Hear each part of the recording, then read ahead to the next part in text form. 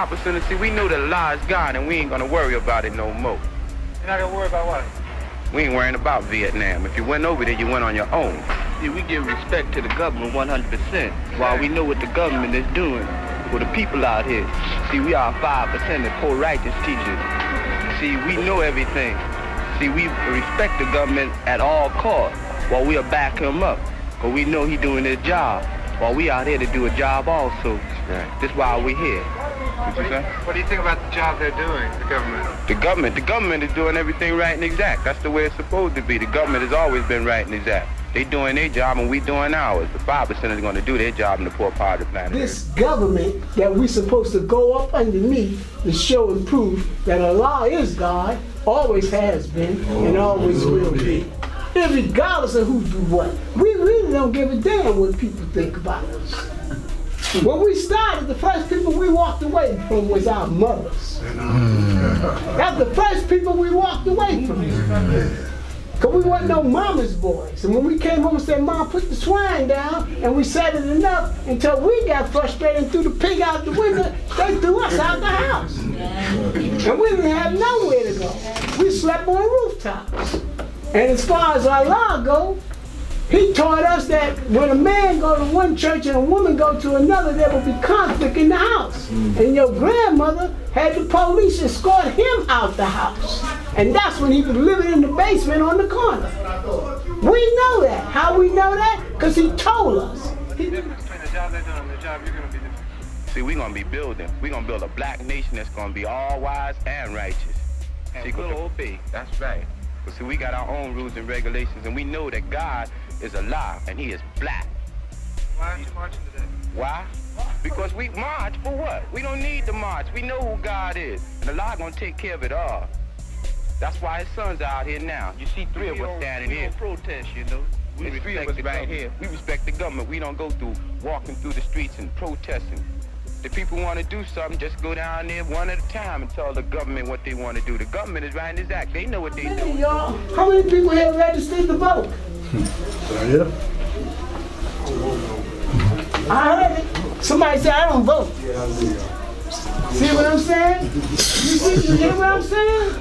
How the hell you gonna change the system unless you participate in it? respect the government at all costs while we are back him up. Because we know he doing his job we are.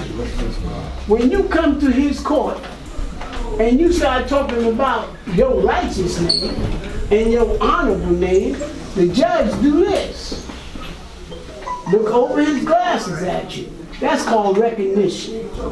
Then he asks you, what are you doing in my court? You have shown and proved that you are an honorable man, a righteous man. So then if you're a righteous and honorable man, what the hell are you doing in my court? Why are you breaking your law? You see, this is a government of the people, by the people, and for the people. Sure do. I see Allah, the God, he told us to respect the government 100% and do anything the government asks. Well, see, we know we going to do for the government. See, the government got to speak to us while we the high intelligent people of this planet Earth. See, Honorable Elijah Muhammad, he's the last and greatest apostle of Almighty God Allah. See, he already submitted 100%. He's the holy Muslim.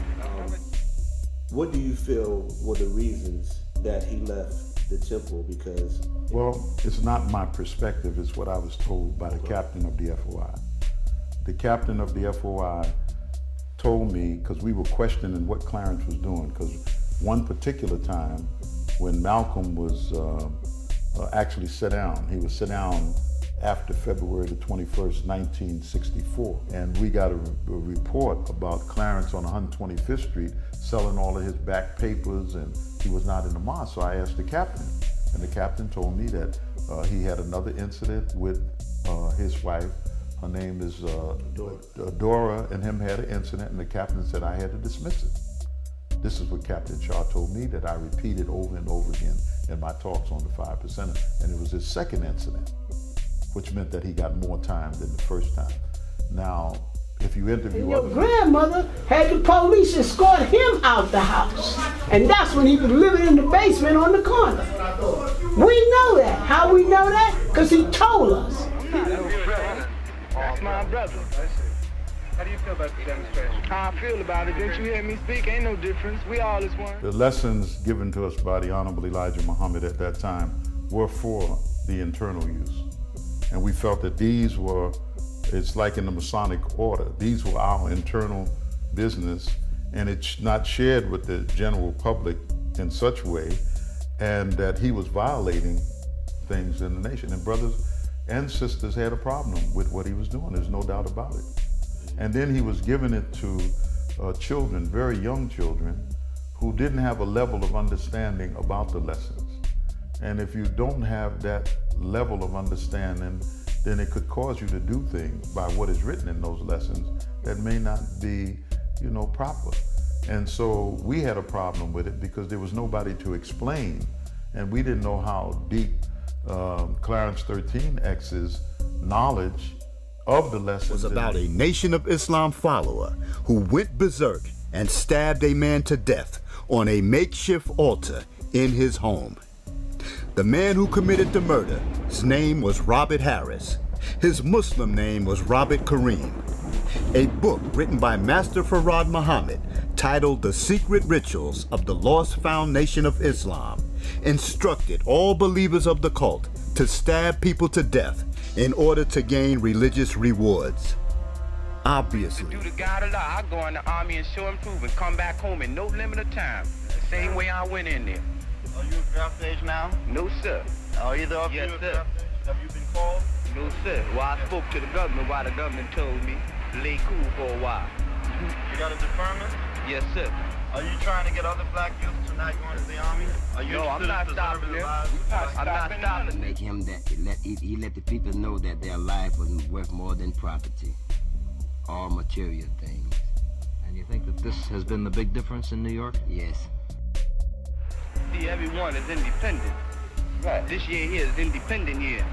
If they don't know they're independent, why they gotta go out in the street and go by themselves? Ain't no one gonna help them. The simple reason if you go to school, you're going to learn something. And if you go to work, you're going to learn even more. You're going to learn about unions. You're going to learn about systems. You're going to learn about this government that we're supposed to go up underneath to show and prove that Allah is God, always has been, and always will be. And we felt that these were, it's like in the Masonic order, these were our internal business and it's not shared with the general public in such way and that he was violating things in the nation. And brothers and sisters had a problem with what he was doing, there's no doubt about it. And then he was giving it to uh, children, very young children, who didn't have a level of understanding about the lessons. And if you don't have that level of understanding, we know everything. See, we When Harris was arrested, he told the police that he made a sacrificial murder to please his God, Master Farad. Harris was quickly declared insane and put in a straitjacket. At the time while he was incarcerated, the other five percenters taught more young brothers and sisters. So when he came home, there was, you know, hundreds of five percenters, mm-hmm. they say. And uh, they talk about how he established the Universal Parliament in April of 1967. It was the first of its kind when the brothers went to Mount Morris Park in Harlem, now known as Marcus Garvey Park.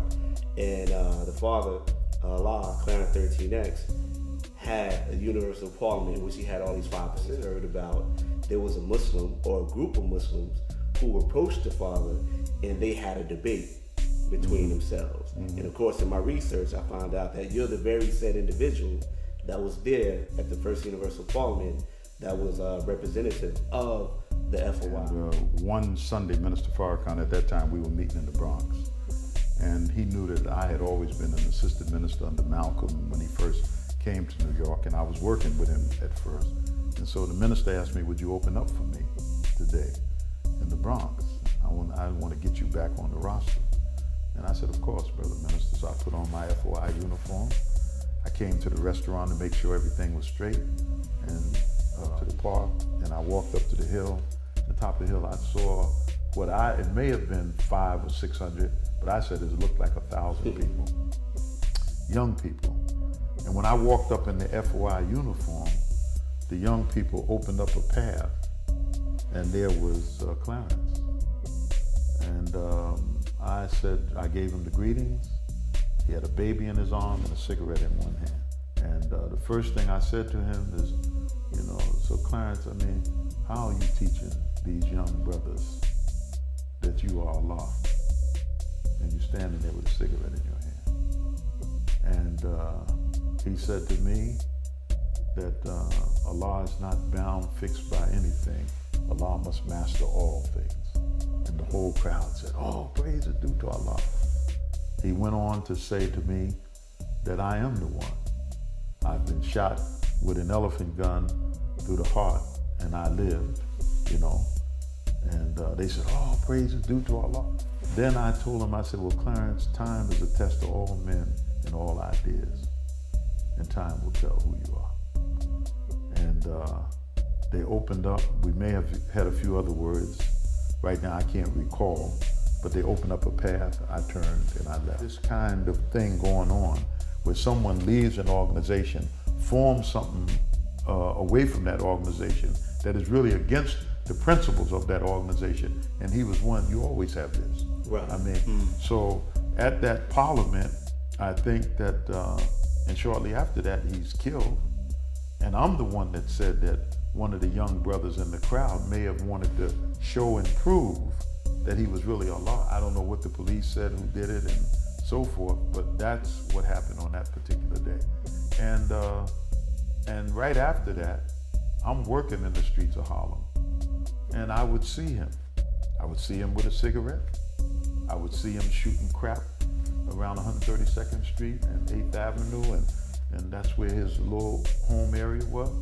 Um, he would be out there shooting craps, and I would see him at a, a um, he would be out there shooting craps, and I would see him at a, a, a store. That he would wave to me, or I'd say salam alaikum, and we go on. But we never got into a debate in the streets that we went back and forth over what he was doing, and he knew that I disapproved because I felt that I said, Clarence, what you're doing with these young boys is not correct. And when I would go to the prisons and I would see those same young boys that I knew as children that would come up to me and remind me, I lived on 118th Street. I was the brother on 100 that used to come to you and talk to you about the lessons. And most of them were in there because they had got busted with heroin or selling heroin or using it, whatever case that they were in jail.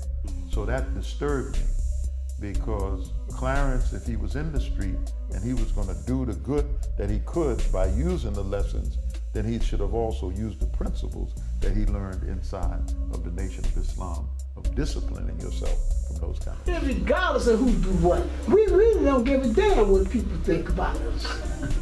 When we started, the first people we walked away from was our mothers. That's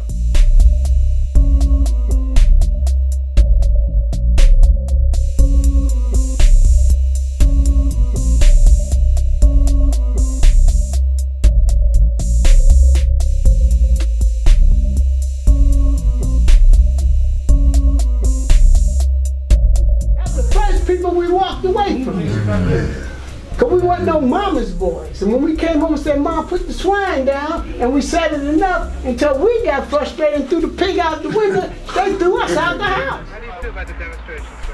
How do I feel about it? Yeah. What do you mean, how do I feel about it? Well, are you in favor of demonstrating against the war in Vietnam? I tell you what I'm not in favor of.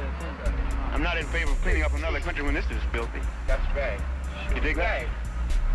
What, what this cracker has to learn is clean home first. Don't worry about Vietnam. You can't you can't guarantee freedom to the people millions of miles away when you got crap going on right here in, in the neighborhood. We are the original people. So what you do with my court? These are your laws. The people make the laws. When I would go to the prisons and I would see those same young boys that I knew as children that would come up to me and remind me, I lived on 118th Street. I was the brother on 100 that used to come to you and talk to you about the lessons.